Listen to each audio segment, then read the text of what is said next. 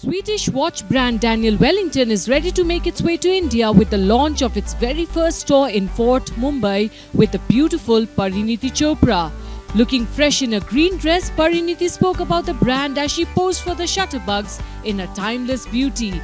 Established in 2011, the brand is known for creating classic timepieces and its emphasis on minimalistic designs making them perfect for those who are in search of stylish watches and accessories.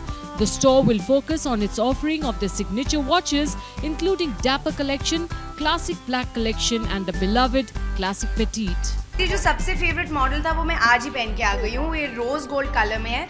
It's called Melrose petite Um, so it, it looks really cool, it looks minimal, it looks really fashionable and it looks very elegant. So I can wear this in the day, I can wear this in the night. So it's, it's really cool, I really like it. मैं uh, लड़की हूँ and you know लड़कियों को सजने धजने का बहुत uh, शौक होता है they really enjoyed it enjoyed लेकिन हम लोग एक्चुअली शूटिंग पे इतना ज़्यादा रेडी होते हैं कि जब मैं शूटिंग नहीं कर रही होती हूँ I just don't feel like getting ready I like to keep it really really simple uh, so I, I wear I, I wear very few things small earrings just one ring just small things. But otherwise you know me I'm very sporty and I usually wear you know just my gym clothes or you know just something really chill